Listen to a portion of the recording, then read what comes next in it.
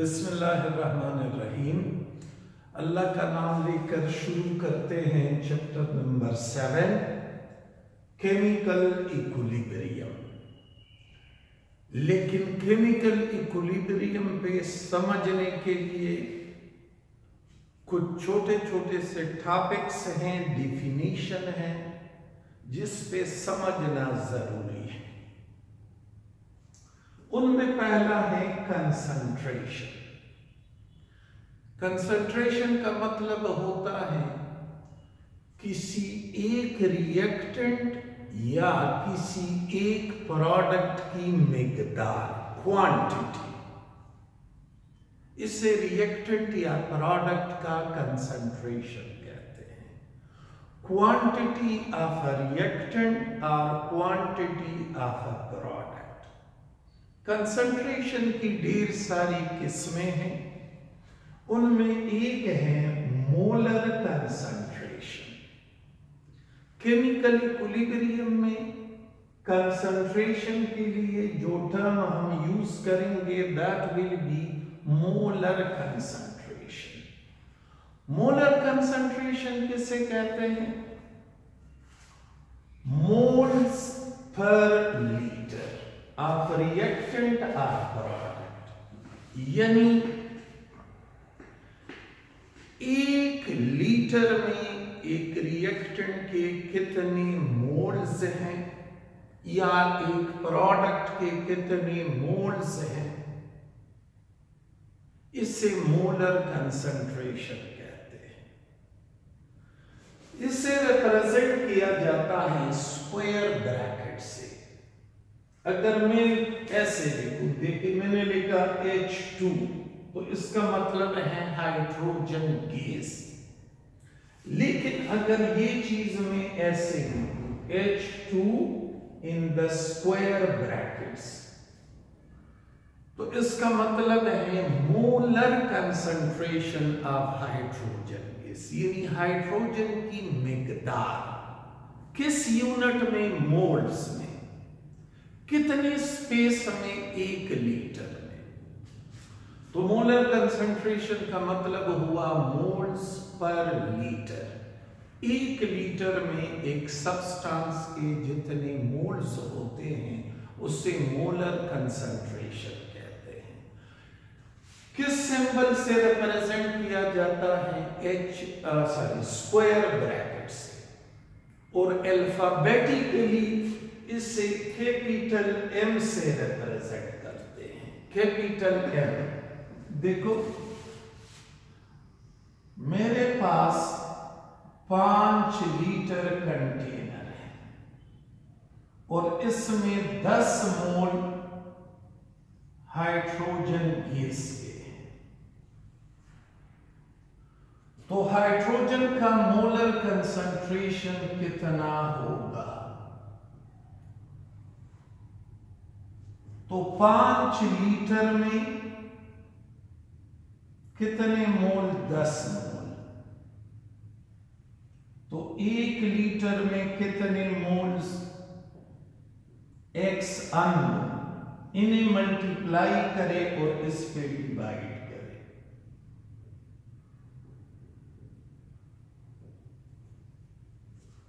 To moles per litre पाँच litre container में दस मोल है तो एक लीटर में कितना होगा?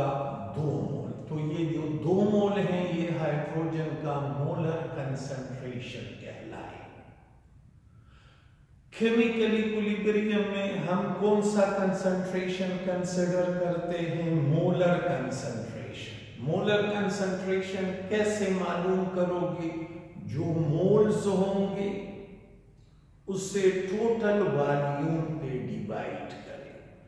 मोल्स हैं दस और टोटल वॉल्यूम है पाँच लीटर। तो आपके पास मोलर कंसंट्रेशन निकल आएगा। अच्छा ये देखिए initial molar concentration chemical equilibrium में दो टर्म यूज़ होते हैं। एक कहलाता है इनिशियल कंसंट्रेशन जबकि दूसरा कहलाता है molar sorry equilibrium concentration initial concentration एक रिएक्शन के शुरू में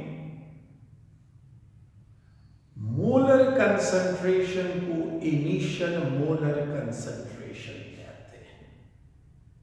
जब रिएक्शन स्टार्ट ना हो, ऐसी हालत को कहते हैं when t is equal to zero time is equal to zero time is equal to zero means reaction अभी शुरू नहीं हुआ तो initial molar concentration means the quantity the molar concentration of reactant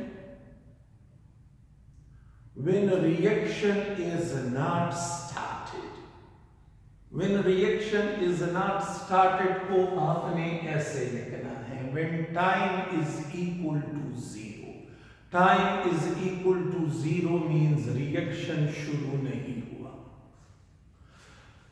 equilibrium molar concentration equilibrium molar concentration means the molar concentration of reactant or product at the time of equilibrium. Equilibrium के वक्त reactant या product के molar concentration को equilibrium molar concentration equilibrium के बाद reactant या product के molar concentration को इक्विलिब्रियम मोलर कंसंट्रेशन कहते हैं। थोड़ी सी तवज्जो से ये बात सुने आप। ये रिएक्टेंट है। ये प्रोडक्ट में चेंज हो और फिर ये प्रोडक्ट वापस रिएक्टेंट में चेंज हो रहा है। यानी ये रिएक्शन रिवर्सेबल है। When time is equal to zero time zero means ये रिएक्शन अभी शुरू नहीं और ये क्या होगा? मोलर कंसंट्रेशन ऑफ़ रिएक्टेंट ये क्या है? मोलर कंसंट्रेशन ऑफ़ प्रोडक्ट तो जब रिएक्शन शुरू नहीं हुआ रिएक्टेंट की मकदार ज़्यादा होगी। रिएक्टेंट का मोलर कंसंट्रेशन होगा मैक्सिमम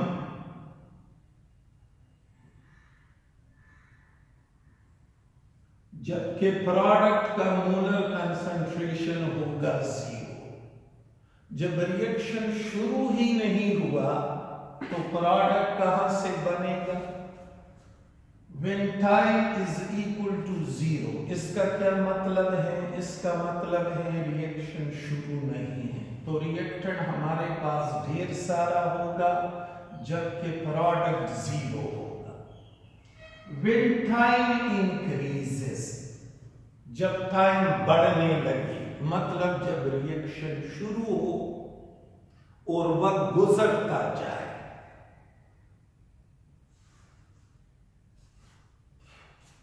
तो इसकी क्वांटिटी में डिक्रीज आएगी। Molar concentration of reactant will decrease क्योंकि रिएक्टेंट कम होता जाएगा, क्यों? बिकॉज़ वो प्रोडक्ट में चेंज जबकि प्रोडक्ट का मोलर कंसंट्रेशन बढ़ेगा। शुरू में प्रोडक्ट नहीं होगा, लेकिन आहिस्ता आहिस्ता फिर बढ़ने लगेगा। और एक ऐसा वक्त आएगा कि रिएक्शन इक्विलिब्रियम की हालत पे पहुँचा होगा। फिर न रिएक्टेंट की कंसंट्रेशन में कमी आएगी। और न प्रोडक्ट के कंसंट्रेशन में कोई इजाफा आएगा। तो जब टाइम गुजरेगा रिएक्टेंट का मोलर कंसंट्रेशन कम होगा प्रोडक्ट का मोलर कंसंट्रेशन बढ़ेगा। लेकिन फिर एक ऐसा वक्त आएगा कि रिएक्टेंट का मोलर कंसंट्रेशन फिक्स हो जाएगा। प्रोडक्ट का मोलर कंसंट्रेशन भी फिक्स हो जाएगा। इस हालत को इक्विलिब्रियम कहते हैं। और इक्विलिब्रियम पे इसकी और इसकी क्वांटिटी को इक्विलिब्रियम मोलर कंसंट्रेशन तो ये इस टर्म का definition moles per litre of reactant or product at equilibrium और initial molar concentration means moles per litre of reactant when time is equal to zero time zero से क्या मुराद है? Reaction अभी शुरू नहीं हुआ। जब रिएक्टेंट प्रोडक्ट में चेंज हो तो इस रिएक्शन को फॉरवर्ड रिएक्शन कहते हैं। और जब प्रोडक्ट रिएक्टेंट में चेंज हो तो इस रिएक्शन को बैकवर्ड या रिवर्स रिएक्शन कहते हैं। अच्छा। Rate of reaction what is mean by rate of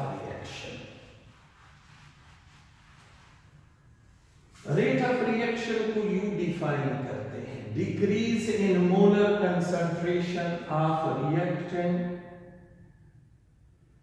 per unit time definition का मतलब है एक सेकंड में रिएक्टेंट के मोलर कंसंट्रेशन में जो कमी आती है उसे रिएक्शन का रेट हैं। एक सेकंड में रिएक्टेंट के मोलर कंसंट्रेशन में जो कमी आती है, उसे रिएक्शन का रेट कहते हैं। या दूसरा definition increase in the molar concentration of product per unit time एक सेकंड में प्रोडक्ट के मोलर कंसंट्रेशन में जितना इंक्रीज आ जाए उसे भी रिएक्शन का रेट कहते हैं या तीसरा डिफिनेशन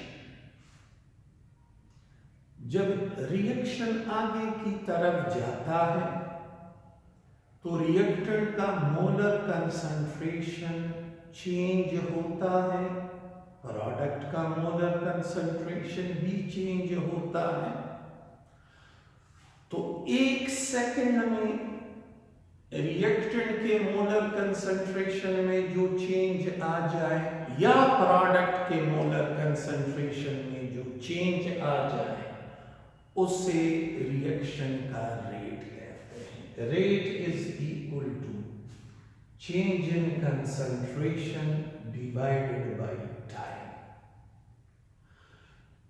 एक सेकंड में रिएक्टेंट या प्रोडक्ट के मोलर कंसंट्रेशन में जो चेंज आता है, उस चेंज को रिएक्शन का रेट कहते हैं।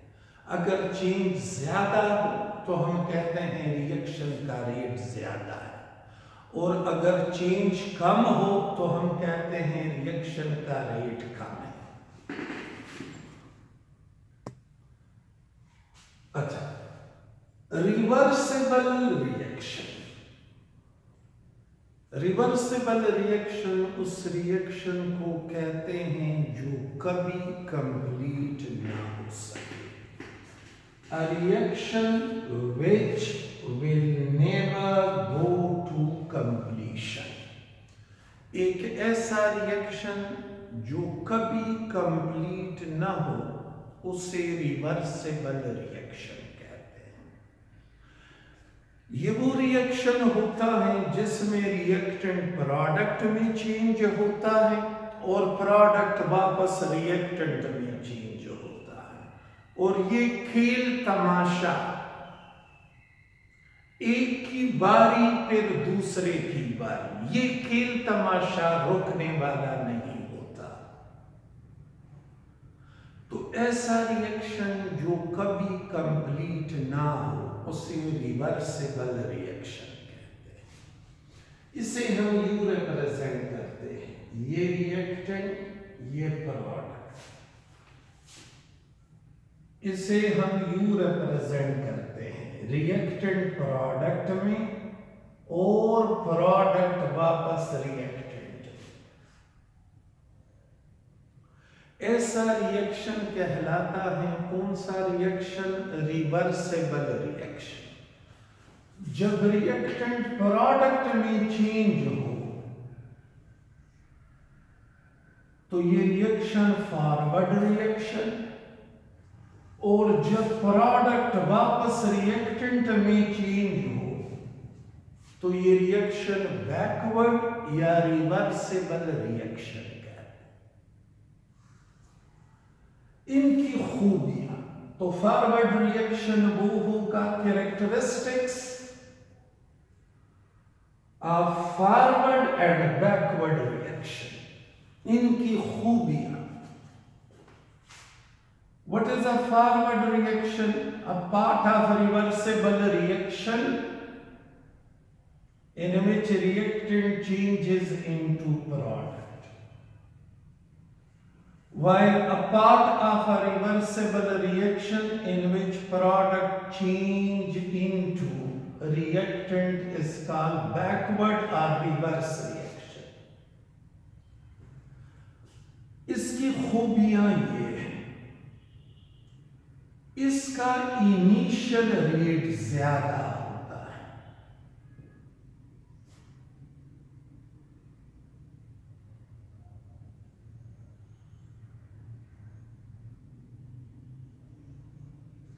जबकि इसका इनिशियल रेट कम होता है। इसका रेट डिक्रीज होता है विद टाइम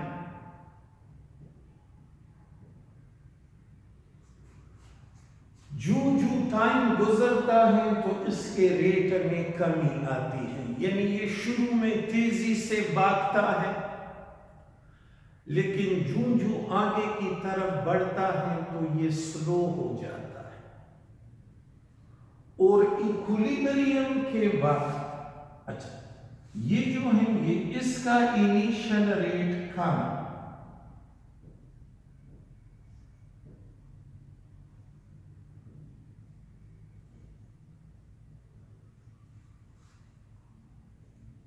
और इसका rate with the passage of time increase होता है। इक्विलिब्रियम के वक्त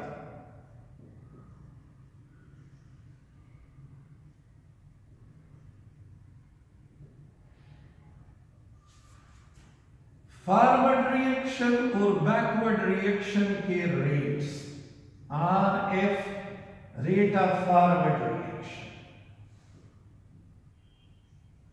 equal to R B rate of backward reaction equilibrium के वक्त दोनों के रेट्स आपस में इक्वल बन जाते हैं। सो केमिकल इक्विलिब्रियम को हम यू भी डिफाइन कर सकते हैं।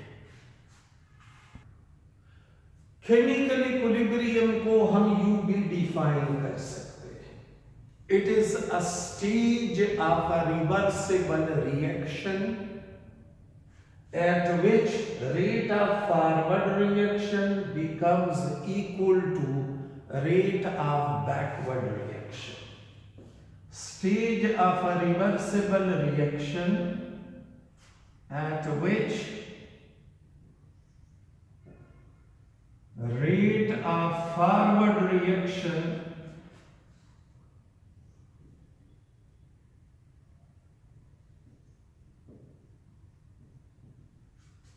becomes equal to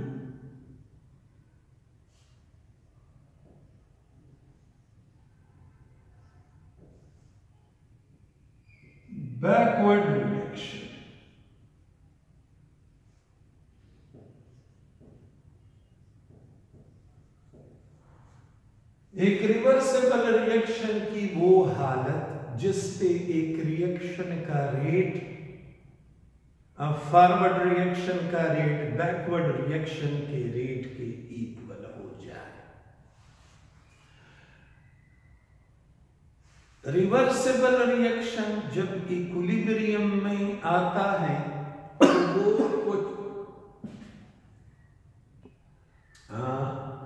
रिएक्शन जब इक्विलिब्रियम में होगा तो उसके लिए कुछ कंडीशंस हैं। शराय है conditions for a reaction to be in equilibrium.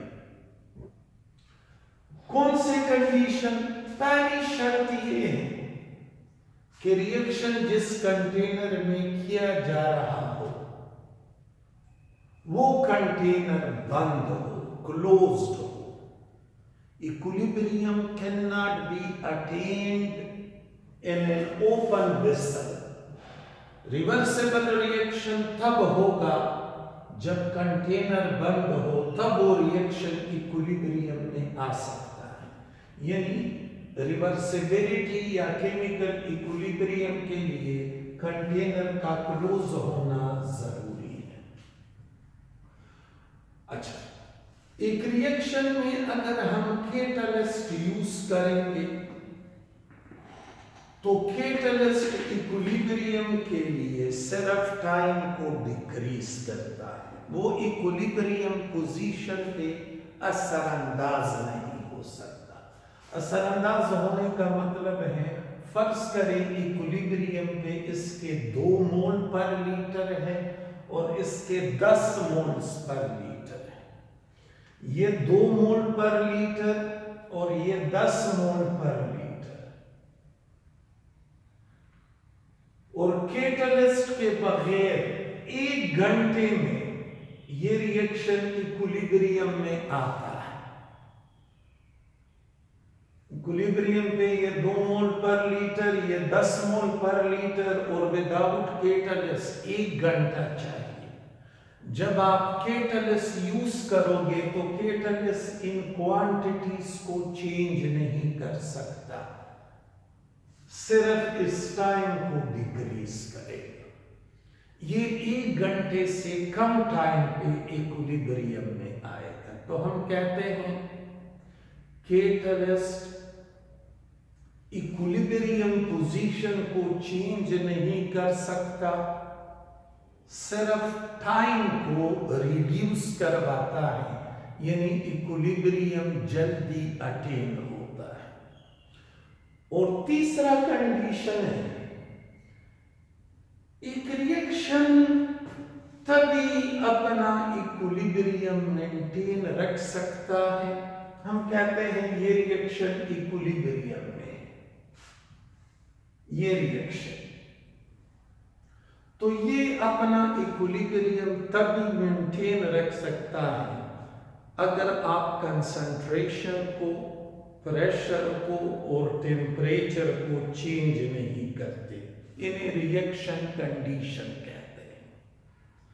और जब आप रिएक्शन कंडीशन को चेंज करोगे, तीनों में से कोई एक कंसंट्रेशन टेम्परेचर या प्रेशर तो फिर इक्विलिब्रियम डिस्ट्रॉय हो जाए। ये सिस्टम फिर इक्विलिब्रियम में नहीं रह सकता। Chemical equilibrium is dynamic in nature chemical equilibrium का नेचर है डायनामिक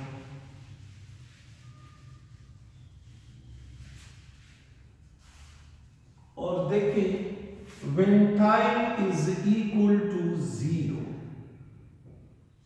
ये रिएक्टेंट इसका मोलर कंसंट्रेशन मैक्सिमम जबकि इसका मोलर कंसंट्रेशन ज़ीरो जब टाइम इंक्रीज हो यानी रिएक्शन आगे की तरफ़ बढ़ने लगे तो इसके मोलर कंसंट्रेशन में कमी आएगी. रिएक्टेंट कम होता जाएगा. जब टाइम और इंक्रीज होगा तो इसका मोलर कंसंट्रेशन और डिक्रीज होगा। जब टाइम और इंक्रीज होगा तो इसका मोलर कंसंट्रेशन और डिक्रीज होगा। और फिर एक वक्त आएगा कि इसका मोलर कंसंट्रेशन फिक्स्ड हो जाएगा, उसमें मजीद कमी नहीं आएगी। यानी लेट सपोज़ ये पहले 10 मोल पर लीटर था, फिर 8 मोल पर लीटर हुआ, फिर 6 मोल पर लीटर हुआ, फिर 4 मोल पर लीटर हुआ। अगेन ये 4 मोल पर लीटर है। जब टाइम और बढ़ा तो इसका कंसंट्रेशन उतना ही है चार मोल पर लीटर। ये देखो, अब कंसंट्रेशन हमारे पास कांस्टेंट आ रहा है। यहाँ से हमें अंदाज़ा हुआ कि इस स्टेज के लिए रिएक्शन इक्विलिब्रियम की हालत में आ चुका इसी तरह इसका मोलर कंसंट्रेशन शुरू में ज़ीरो फिर इंक्रीज हुआ दो मोल पर लीटर फिर चार मोल पर लीटर फिर छ मोल पर लीटर अगेन छ मोल पर लीटर छ मोल पर लीटर ये देखो, इसकी कंसंट्रेशन में इंक्रीज आ रहा लेकिन एक खास वक्त पे पहुँच के इसका कंसंट्रेशन भी फिक्स हुआ। टाइम गुजर रहा है लेकिन कंसंट्रेशन में इंक्रीज नहीं आ रहा। ये इंक्रीज या डिक्रीज क्यों नहीं आता? दिस इज़ बिकॉज़ इक्विलिब्रियम पे जिस रेट से ये इसमें चेंज होता है, उसी रेट से ये प्रोडक्ट इसमें चेंज होता है। तो दोनों के एक दूसरे में जो कन्वर्जन का रेट है, वो रेट सेम है। याद रखना है, इनका मोलर कंसंट्रेशन सेम नहीं है, एक दूसरे में कन्वर्जन का रेट सेम तो यहाँ हम कहते हैं ये रिएक्शन इक्विलिब्रियम की हालत में आ चुका है। इस स्टेज पे रेट ऑफ़ फॉरवर्ड रिएक्शन और रेट ऑफ़ बैकवर्ड रिएक्शन आपस में इक्वल है। ये एक दूसरे में कन्वर्जन को रोकते नहीं है। ये इसमें चेंज होता है। तो अगर ये इसमें चेंज हो रहा है फिर इसकी क्वांटिटी बड़ी क्यों नहीं?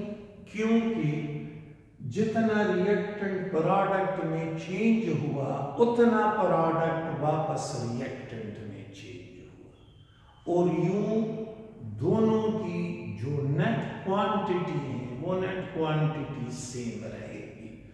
तो केमिकल इक्विलिब्रियम हैज़ डायनामिक और इसका ग्राफिक रिप्रेजेंटेशन हम यू करेंगे। ग्राफिकली हम इसको यू रिप्रेजेंट करेंगे। अगर हम कंसंट्रेशन को प्लॉट करें वर्सेस टाइम ये ओरिजिन है। यानी यहाँ पे दोनों वेरिएबल की वैल्यू ज़ीरो है। व्हेन टाइम इज़ इक्वल जब टाइम हो ज़ीरो तो रिएक्टेंट का मोलर कंसंट्रेशन मैक्सिमम सपोज़ इतना है।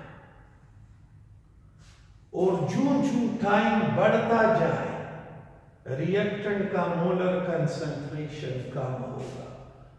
तो ये लाइन ऊपर से यू नीचे की जानब आएगी ऐसे, और फिर ये लाइन यू हो जाएगी। ऐसे होने का मतलब है टाइम बढ़ रहा है, लेकिन कंसंट्रेशन इसका फिक्स हुआ। ये लाइन किसके लिए? ये रिएक्टेंट के लिए। प्रोडक्ट के लिए when time is equal to zero तो प्रोडक्ट का molar concentration zero time zero concentration zero with the passage of time product का मोलर कंसंट्रेशन बढ़ रहा है। तो ये लाइन यू ऊपर की जानब जाएगी और फिर ऐसी स्ट्रेट हो जाएगी। ऐसे स्ट्रेट ये लाइन प्रोडक्ट के लिए है। ये खास जगह देखे। इससे आगे टाइम तो बढ़ रहा है, लेकिन कंसंट्रेशन में किसी किस्म का कोई चेंज नहीं आ रहा। तो इस पर्टिकुलर टाइम पे ये रिएक्शन इक्विलिब्रियम की हालत में आ चुका है। एक chemical important point important point ये कि एक केमिकल रिएक्शन कितने परसेंट कंप्लीशन के बाद इक्विलिब्रियम में आ सकता है। In person. A chemical reaction can attain equilibrium, attain a chemical reaction can attain equilibrium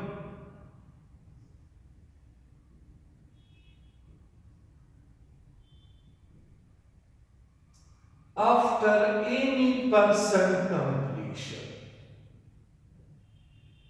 any percent completion uh, what does this mean? यही सेम रिएक्शन कंसिडर करें। मैंने reactant कितना कंसिडर किया है? 10 मोल पर लीटर अगर रिएक्टेंट का एक मोल डिकम्पोज हो जाए तो भी ये रिएक्शन आ सकता है। अगर रिएक्टेंट के पाँच मोल डिकम्पोज हो जाए दस में से पाँच मोल तो हम कहते हैं ये रिएक्शन 50 परसेंट कंप्लीशन के बाद इक्विलिब्रियम में आया। और अगर 10 में से 9 मोल प्रोडक्ट में चेंज हो जाए तो ये 90 परसेंट कंप्लीशन के बाद इक्विलिब्रियम में आया। तो एक केमिकल रिएक्शन इक्विलिब्रियम अटेन कर सकता है कितने परसेंट कंप्लीशन के बाद? After any percent completion